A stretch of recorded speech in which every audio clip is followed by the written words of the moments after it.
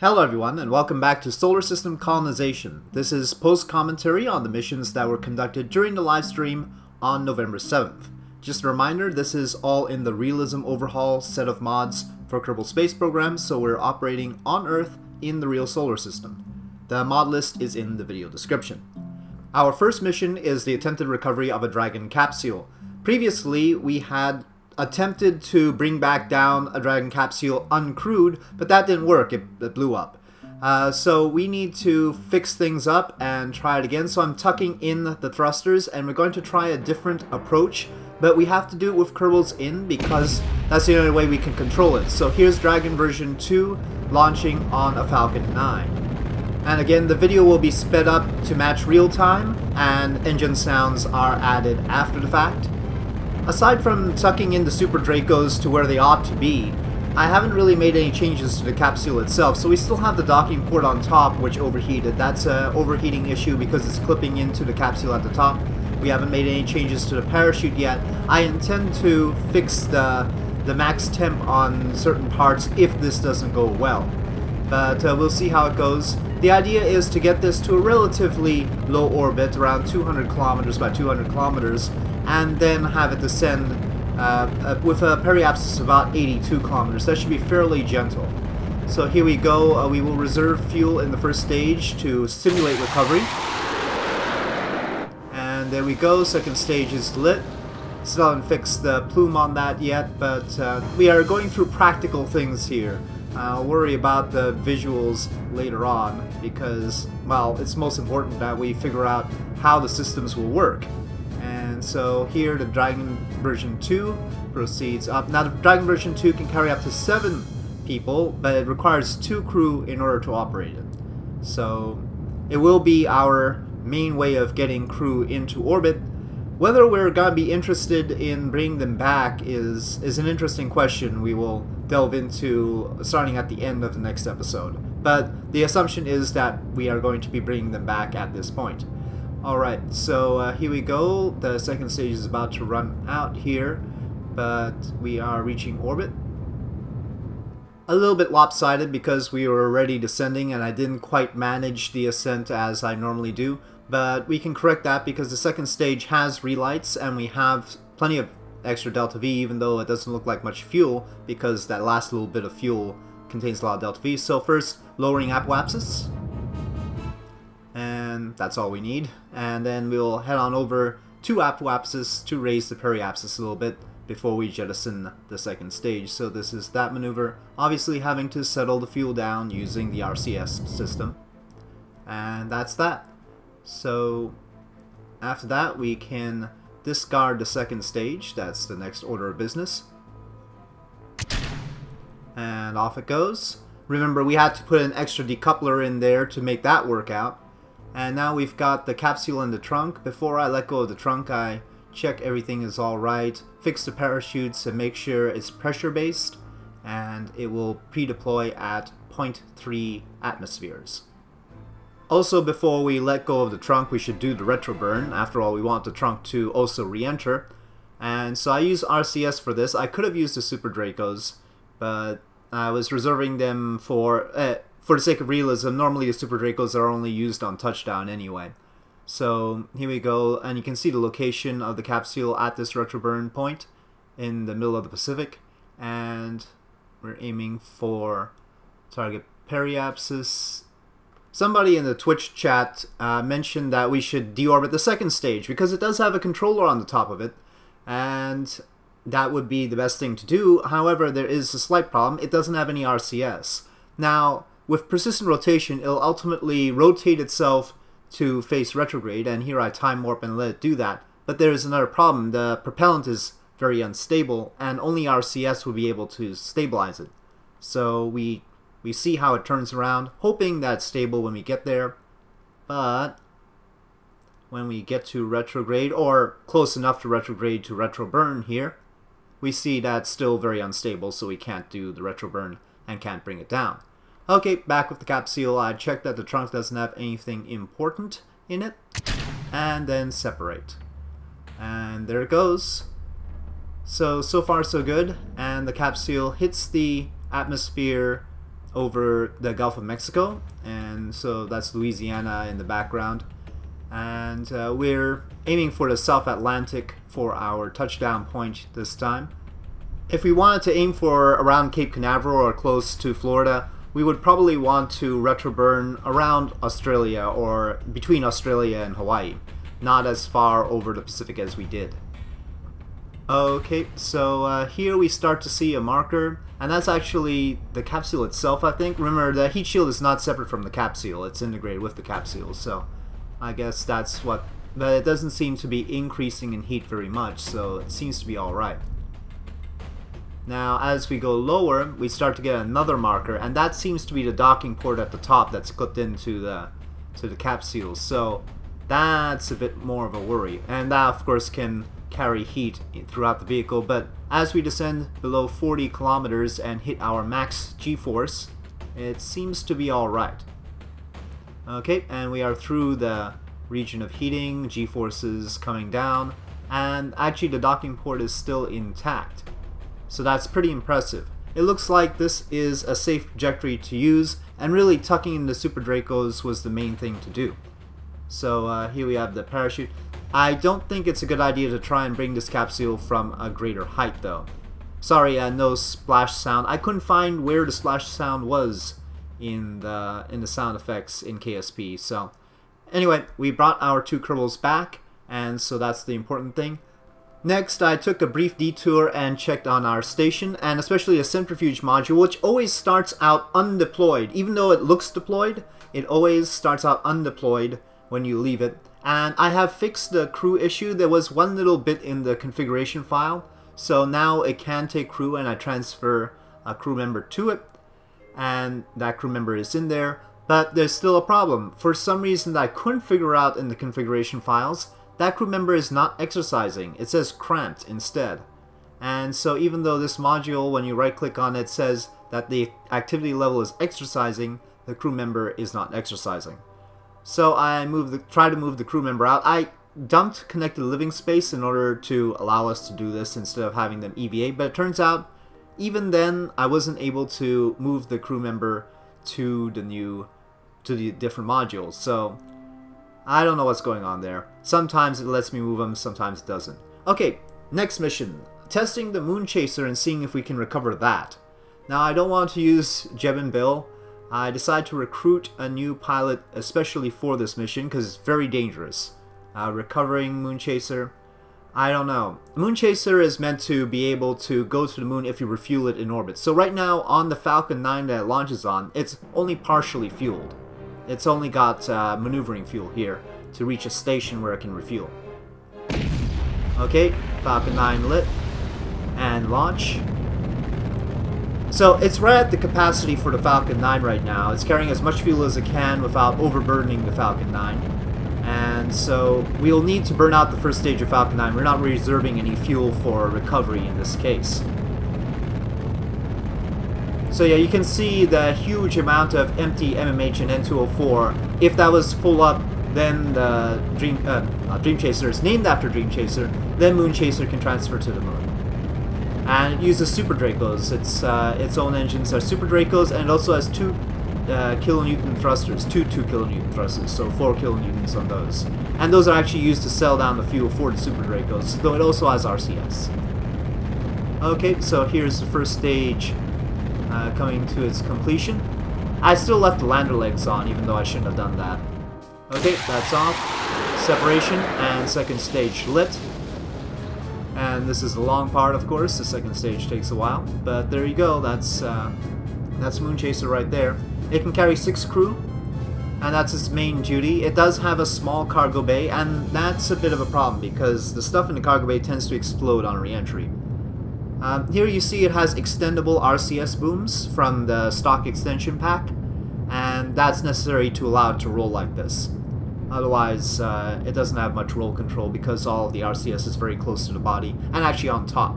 None of the RCS is on the bottom or anything like that. Okay, and so we're gonna have a little bit of a trick with pitch control. We'll see how that works out. Okay, coasting right along. It looks pretty good in this sort of uh, pose, if you will. There's the east coast of the United States. and we are headed back down, but that's nominal.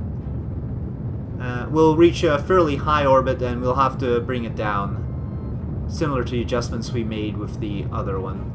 Yeah, really high, 500 kilometer apoapsis there. But off goes the second stage. That's not gonna re-enter. So again, we've left a few stages in orbit. But uh, here I'm uh, rearranging the thrusters and now I'm going to make the orbital adjustments. Our periapsis is fine at this time. I used RCS to correct that, and now I'm using the Super Dracos. Actually, I start off with the 2 kilonewton thrusters, trying to use them to bring down the apoapsis. But ultimately, I decided to use the Super Dracos because the 2 kilonewton thrusters were taking too long. So there we go. Uh, so that's a nice standard orbit, and we will uh, begin a deorbit burn. So for uh, for a craft like the Moonchaser, you generally want to aim for a periapsis that's lower than a capsule would aim for because this generates lift.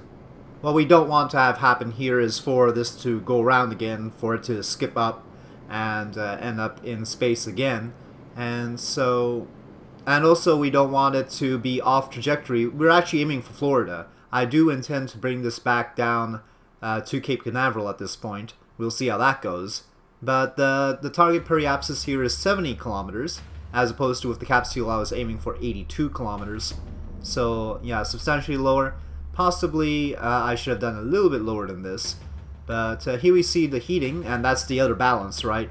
You can't go too low, otherwise you're going to end up getting even hotter, and also you'll face more difficulty controlling pitch. So I've I moved uh, fuel back and forth in order to control pitch. You can see the stuff in the cargo bay is very hot at this point, but a lot of the vehicle is very hot at this point. The the little uh, heat indicators don't work very well with real heat, I've found. And so they, they remain very hot for an extended period of time. Somewhere between the last little bit and this, the stuff in the cargo bay exploded. I didn't catch that. It wasn't a particularly spectacular explosion. But uh, here we are. We are in the Gulf of Mexico, well, over the Gulf of Mexico, thankfully, not in the Gulf of Mexico, and we are headed towards Florida, but it does look at this point like we are going to overshoot. At least people in the comments already started saying that. Uh, I thought that we were pretty well aimed for Miami. We, we don't have much cross range. This thing can't turn very well, and so we couldn't turn towards the north where, where we could hit Cape Canaveral. That would have been ideal, of course, but uh, I decided to break it down on on the first orbit around. If I really wanted to aim exactly for Cape Canaveral, uh, what I should have done was waited for a whole day.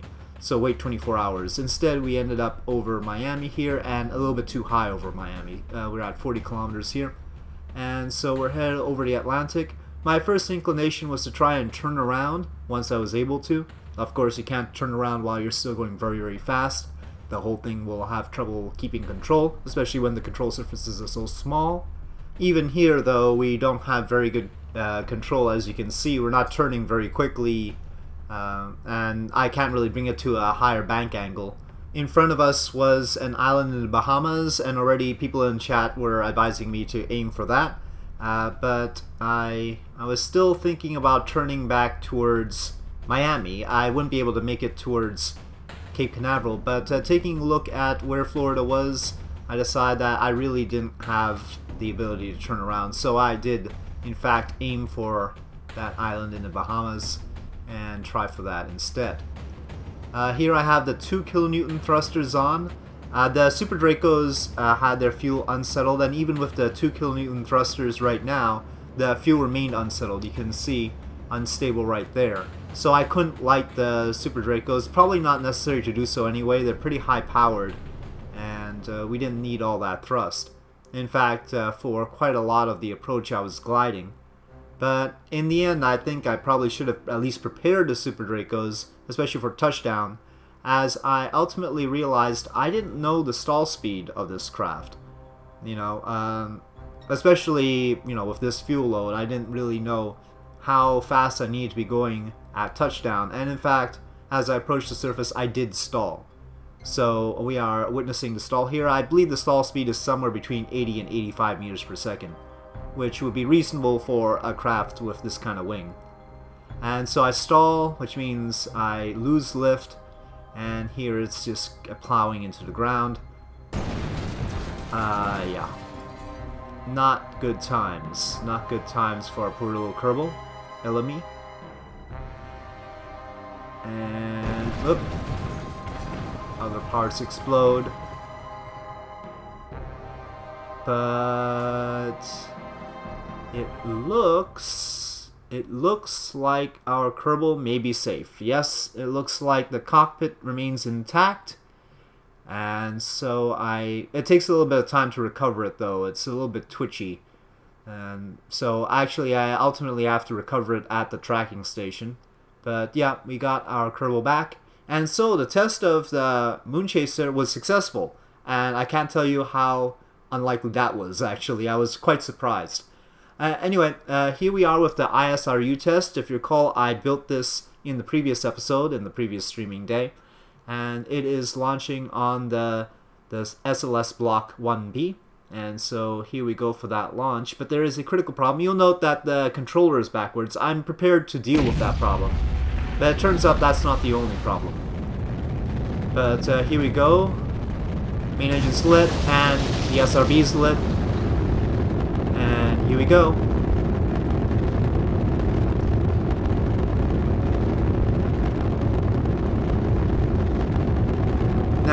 You can see a rather drastic roll occurring here. Not entirely sure why we have this roll, but it has something to do with that controller. The controller that it's controlling from is part of the Planetary Base Inc pack, and it doesn't like this situation at all. And I should have taken this as a tip-off because later on we're gonna have trouble with that controller again.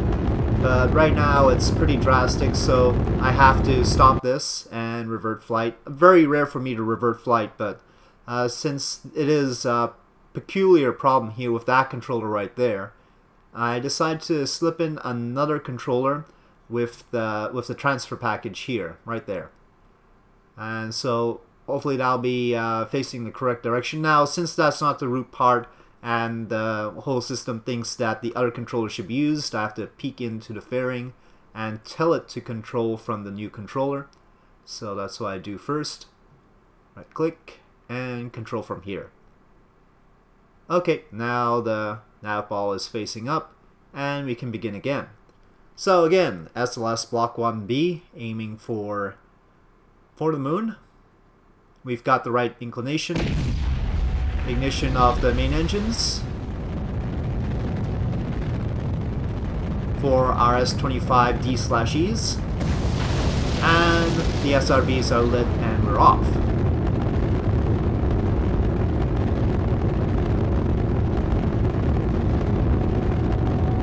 This time it looks like it's straight as an arrow and we're not having any roll problems. I I institute a roll there so Smart ASS can control the situation.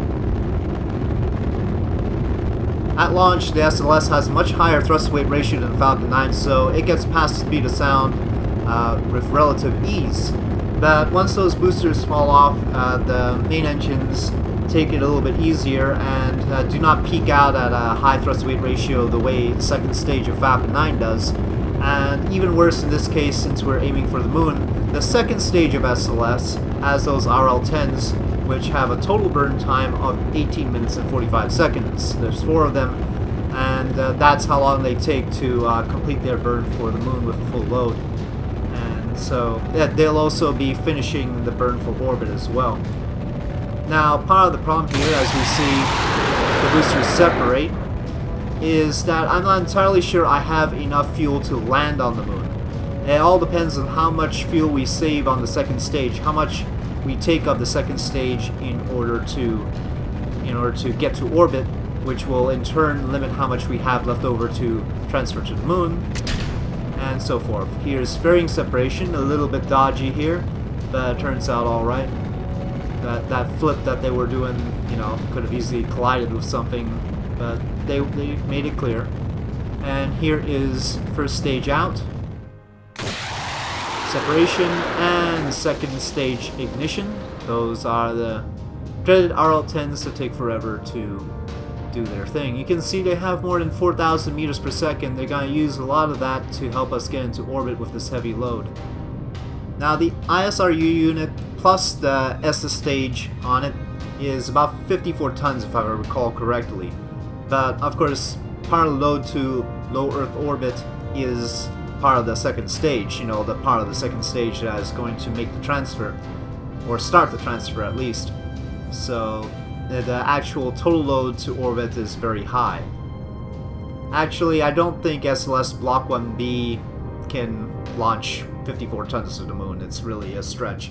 Uh, we'll see how it does, but uh, it was never meant for that kind of load. Probably even 45 tons would be a stretch. 45 tons is what Saturn V launched to the moon. Now, what you saw me doing there was checking that if we continue burning in this direction right now, we would hit the moon.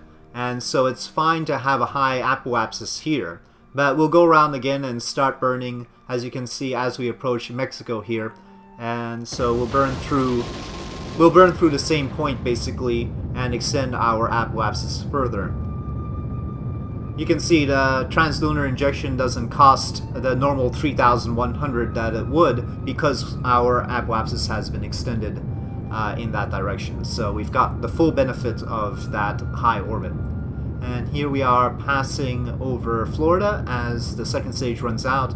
And that's unfortunate because in order to make this mission work out, we really wanted to complete the translunar injection with the second stage, but that's not what happened. I used the little ullage rockets on the second stage because we're not going to use it for anything else. I don't use up the second stage's RCS because that would take too long. And I release the payload with its Aestus engines and unlock that fuel, and here we go. So at this point, it's not looking particularly good for landing on the moon. You can see that this stage that we have attached here, this Aestus stage, has about 2,400 meters per second. The fuel on the on the ISRU test is locked currently. But uh, when you do the calculations, you need about 800 for lunar orbit. Then you need 2,600 to land. So it all depends on how much delta V we have in the ISRU unit. Here I extend the solar panels on the test unit. Those huge solar panels are the only ones I put there. I didn't put little small solar panels, so we have to do the full extension thing with the Infernal Robotics parts and the unfurling of those solar panels. So there we go, that's what it looks like. Plenty of power for its drilling purposes. And here we continue out to the moon. Not much fuel to spare, really. And as we get closer and closer, I continue burning the engines. And, of course, as usual, fine adjustments will be made using RCS, but I get it pretty close just on the Aestus engines.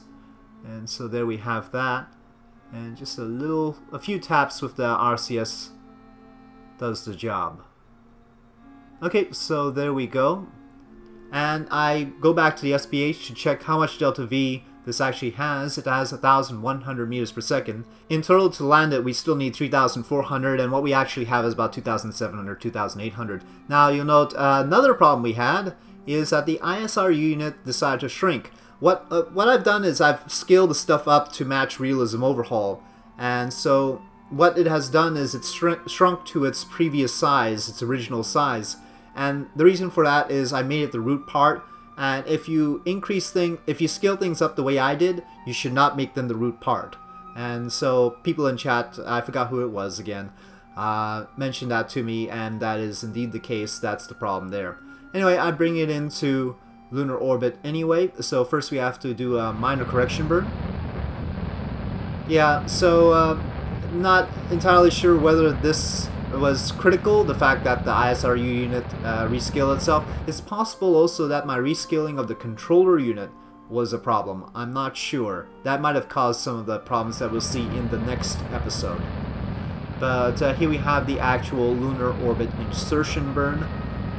And uh, that's what it looks like five Aestus engines. Aestus is the upper stage engine for the Ariane system.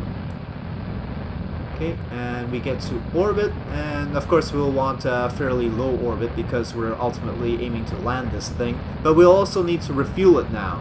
So the goal will be to send over some fuel to refuel that Aestus stage, and as Aestus as A-E-S-T-U-S. I don't know how, else to pronounce it, but uh, there we have it.